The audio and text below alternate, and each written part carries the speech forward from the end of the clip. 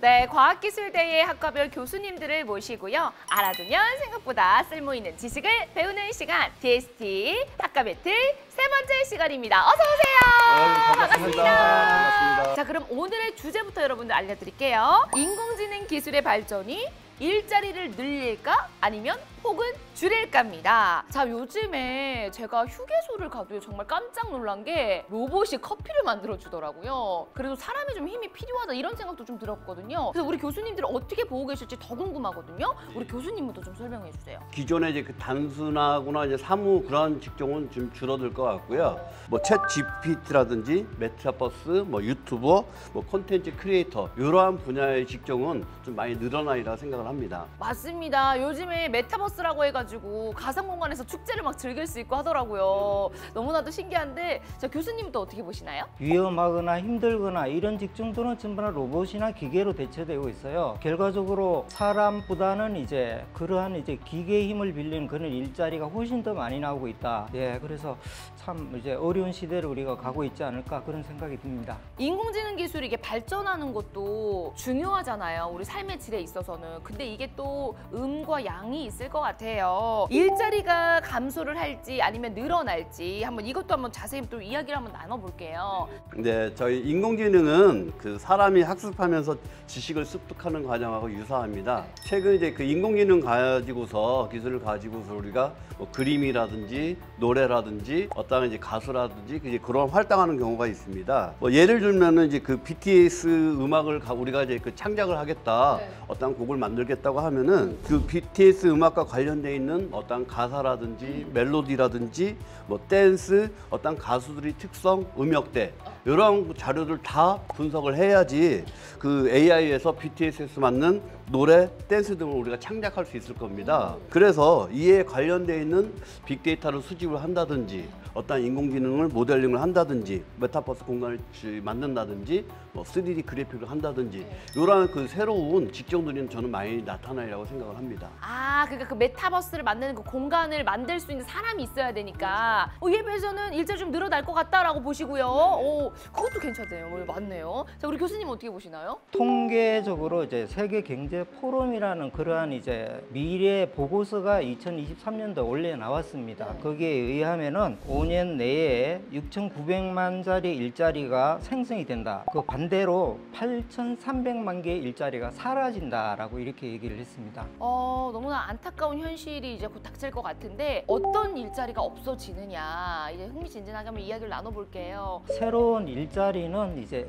직업 중심이 아니고요. 직무 중심으로 재 편성이 되어져요. 직무? 네, 직무. 자, 예를 한번 들어보게 되면 과거에는 프로그래머가 있었거든요. 근데 지금은 프로그래머가 이제 세부적으로 분리가 되어 있어요. 그러니까 backend 프로그래머, 그 다음에 frontend 프로그래머.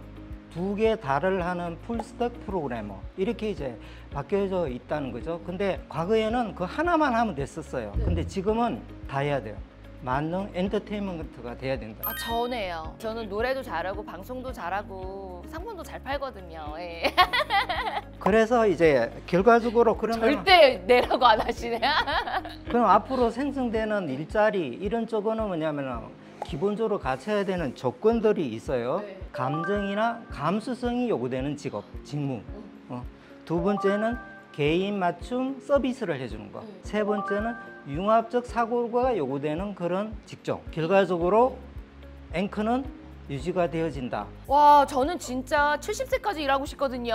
정말 다행입니다. 아니 그러면 제가 교수님께 한번 질문 드려볼까요? 교수님의 자리는 어떠실 것 같아요? 로봇이 대체를 할까요? 새롭게 계속해서 이제 어, 유지가 되어지는 그런 직업들이 있는데요. 그것이 농업하고 그 다음에 교육 부분이에요. 왜냐하면 교육 부분은 이제 맞춤형 서비스를 해야 되죠.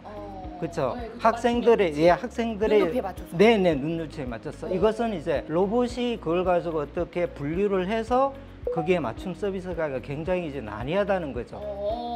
근데 결과적으로는 뭐냐면은 어떠한 틀에 딱 맞춰 갖고 그것을 이제 자동화할 수 있으면은 그것은 이제 일자리가 없어지는 거고요. 근데 그것이 굉장히 이제 너무 다양해서 이걸 어떻게 표준화할 수 없다고 하면 은 그 일자리는 없어지지 않는다. 아주 좋습니다. 아니 그럼 교수님은 어떤 분야의 일자리가 좀 사라지기 가장 쉽거나 혹은 좀 새롭게 등장하실지 어떻게 보시나요? 저는 누구나 할 수 있는 단순한 노동 및 사무와 관련되는 그런 직종은 없어지리라고 생각을 합니다. 지금 그 AI는 국방이라든지 보건, 인문, 공학 등 모든 분야에서 지금 AI를 적용하고 있습니다. 이러한 각 분야에서 관련돼 있는 예를 든다면 국방이라고 하면은 국방에 관련돼 있는 데이터를 수집을 하고 또 국방과 관련돼 있는 인공지능 학습을 할 수 있는 그런 기술 또 이러한 것들을 이제 그 표현을 시각화를 해줄 수 있는 그러한 것들이 전 산업 분야에서 다 필요로 하리라고 생각 을 합니다. 크게 보면은 지식을 정보화하는 그런 직군 뭐 예를 든다고 하면은 빅데이터 mining이라든지 인공지능 모델링이라든지 뭐 프로그래밍 혹은 뭐 지식재산 관리 이러한 분야들은 계속해서 증가가 할 것이고요. 또한 그 창의성을 가지고서 우리가 이제 콘텐츠를 기획을 한다든지 제작을 한다든지 이러한 분야들의 직종은